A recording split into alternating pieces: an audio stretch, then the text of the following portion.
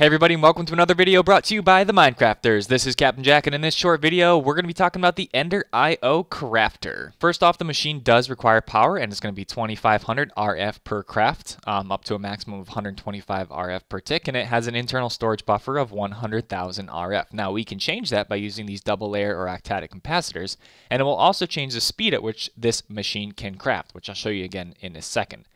Over here we have a 3x3 typical crafting grid, and if you put inside of this a pattern, let's see, we could do sticks, um, and then you place some uh, of the proper material over here, it will automatically craft these sticks and put them in the output spot over here. So we can make some sticks just like that. Now, um, you can put any pattern that you want in here, so I can load this up with chest. There's your pattern. If I shift click this over here, it's going to automatically craft me a couple chests. Okay, and the speed depends on how uh, how many or what type of uh, capacitor that you have inside of there. So this is going to create just at a slightly faster speed than with no capacitor. Okay, like that. And let's go ahead and make some wood planks here, and we'll make uh, make this thing really fast.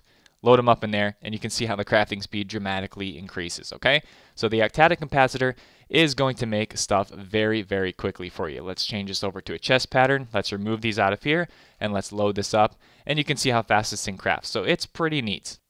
The buttons on the far right of the GUI are standard Ender IO buttons. Um, we have redstone control here, so we can uh, choose a variety of different control options if you want to throw a redstone signal at this machine. Over here we have a configure IO button, which we'll go over in just one second, and we have this buffering item or single stacks button right here, and I'll show you what that does. So if I throw in um, a wood plank here, and uh, say I want to just uh, I want to do single, if I shift click this and put it in here, see how it's only putting in one at a time? That's because it will never allow more than one of these in here at a time. And that's going to be really important for the setup that we're about to do. Um, if I go ahead and shift click with uh, stacks of items, it's going to always try to keep stacks of items inside of here. And uh, that may be good, that may be bad, depending on what you're trying to uh, use the machine for. Um, but that is what this button does here. Now, the next button we're going to go over is the Configure I.O. button. All right, so this button comes standard on most Ender IO machines now that have uh, um, inventories inside of them. And uh, what this does is it brings up a really cool interface here that you can kind of drag and look around and see what's going on here. So what it does is it shows all the blocks adjacent to it. So in the back here, um, you can't see it, but there is a power line running into the machine. We got a block down here, a chest over here, and an industrial information panel right there. Now in the chest to the left, we have a bunch of different um, wood planks. So what this machine is actually capable of doing is it's capable of dragging those wood planks inside the inventory of the crafter.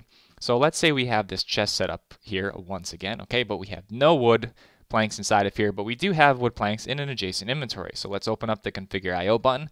Let's go ahead and do pull, and there we go. It's yanking a whole bunch of different, uh, or basically it's yanking in all the contents of this chest here into the crafter, and uh, since we have this buffering stacks of items, it's going to um, just load it up with a whole bunch of different um, uh, wood planks. Now, if I was to go ahead and use this buffer buffer single items, I'll show you the difference in how this uh, this machine interacts with the chest next to it. So I'm going to drag over here. I'm going to set to pull, and you see how it's only launching in eight at a time, and it's never keeping more um, than those eight inside of the machine at any one time. That's the difference between the stacks, and that's the difference between single items. So that's um, one of the capabilities of this machine, which is pretty awesome. I love this little interface here. Now, um, I am right clicking to change these things here. You can um, left left click and drag around to move the uh, interface there, and we can set this to push, to pull, to push and pull, or disabled. Okay, and uh, that can be changed to any different side. And uh, you don't actually see that. Oh, you do actually. You see it at the front of the machine.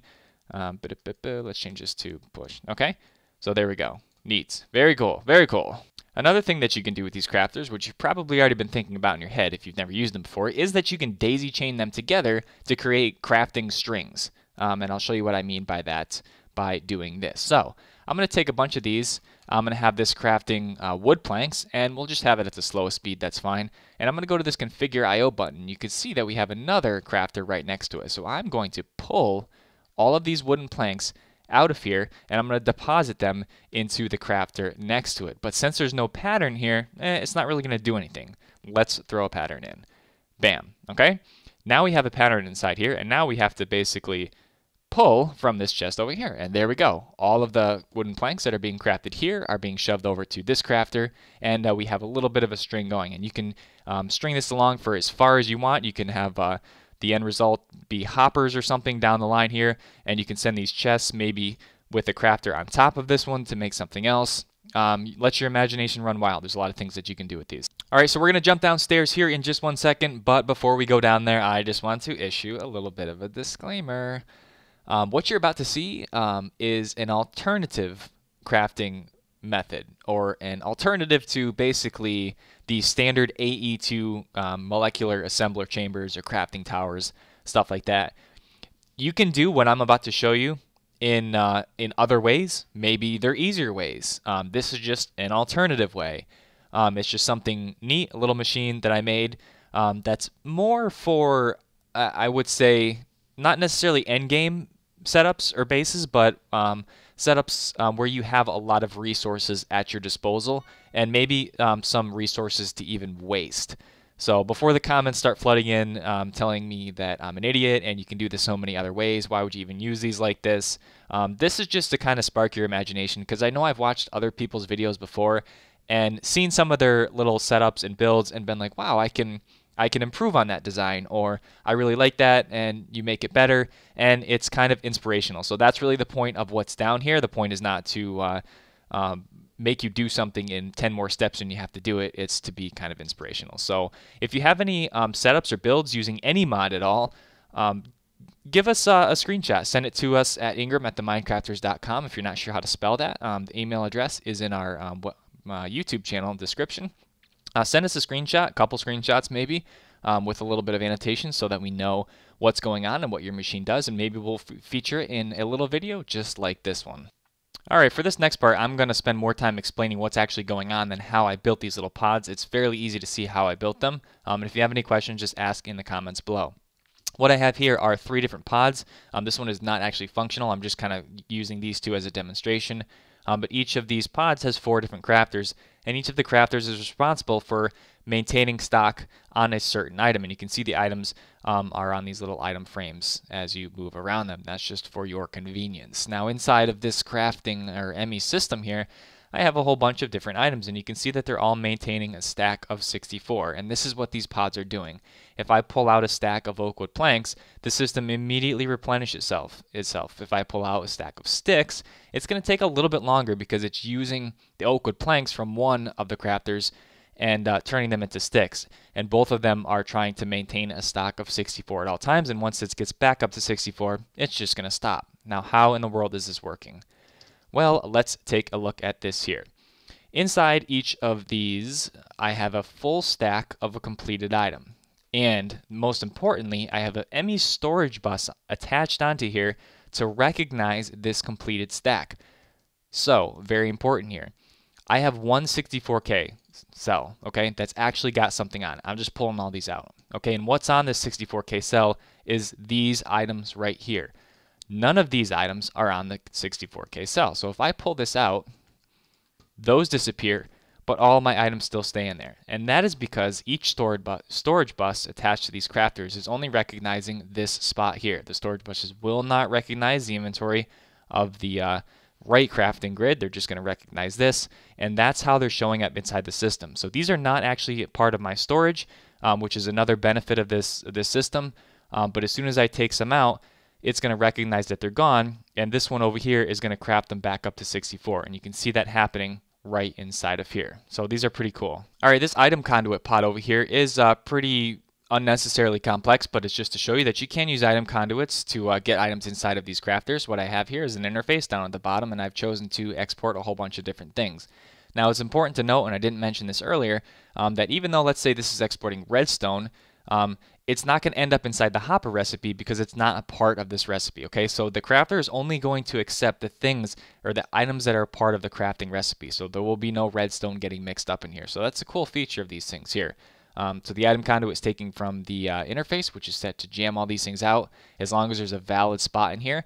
And uh, if I take out, let's say, my stack of furnaces, it's just going to go ahead and try to replace cobblestone as fast as an Ender IO conduit can and get me back up to 64. And once it's there, it's going to refill the grid and get me ready for the next time that I yank out 64 furnaces. If I only yank out one, or let's say if I only take out half a stack, it's it's still going to replenish it, okay? So it's just kind of uh, supplementing your, your auto crafting system. um, to keep up with some some basic items. All right, so this one here is made using uh, basically AE2 items. We have export buses right here and right here, and then we have the same storage buses and then another two export buses here and here. Now this is going to use um, more channels on your AE2 system or your ME system. However, this is probably the fastest way to jam items in here because you can upgrade the export buses with uh, with different cards. This one's not actually functional, um, but this is probably the fastest method to uh, to get things to craft inside one of these little pods. All right, now finally, this little pod with the interface only um, is probably the cheapest way to go if you're going to make one of these. Um, um, but it's not actually the fastest. This one is the faster of the three here. What I have is an interface in the center here, and I have the interface trying to jam out all these different items. So um, wood is trying to go into this one here, and this is going to make me all those wood planks. You can see that happening there. Bam, back up to 64, and it's always keeping me in stock.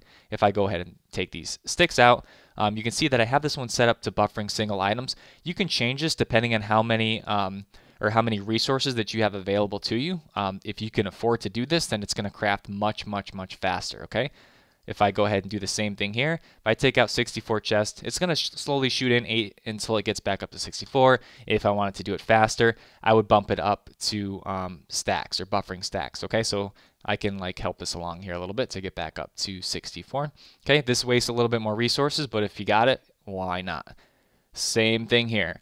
Um, pistons, pistons, pistons. Watch when I take it out of here, and then I'll move over there. Okay, so I'm going to drag all these pistons out, and you can see that they're firing right back into the system. Okay, and it's using up all these resources. And then when it uses up all these, because it's not going to make, I think, a full stack, you can you can see it's going to start jamming full stacks back into back into uh, this right crafting grid, and then it's going to be ready to make a whole nother 64 instantly on command. Okay, so this is this is a pretty neat system that just supplements your uh, or helps you to maintain stock levels of basic items. All right, so in this last little room, basically what we have is this setup here just stacked on top of itself four different times. Obviously, it gets a little bit more complex with channels here. So we have a controller down here um, it's capable of putting out 32 channels per side. We have all um, 32 being used up, as you can see there. 16 are going here, 16 are going here. Then those are being split off to go here and here. 8 and 8. And you can see that we have our storage buses here, and we're using export buses on either side. Um, so this is a neat little crafting tower um, that's very neat, very put together, um, and maybe something that you can use inside of your base. Just an idea. All right, so that's going to wrap it up for this little tutorial video. I hope you guys liked what you saw. Um, again, if you have any little contraptions or, or, setups that you have made, doesn't have to be a crafter. In fact, we'd like to, if it, was something else um, that you would like to show us and that you think maybe is video worthy, we'd love to uh, showcase it, give you credit for it, obviously, um, post it on our channel. If you uh, like the video, make sure you give it a thumbs up. And if you haven't subscribed, make sure you tap that subscribe button because we've got a lot of awesome stuff on our channel and you should probably check it out if you haven't already. So, until next time, guys, make sure you stay poised.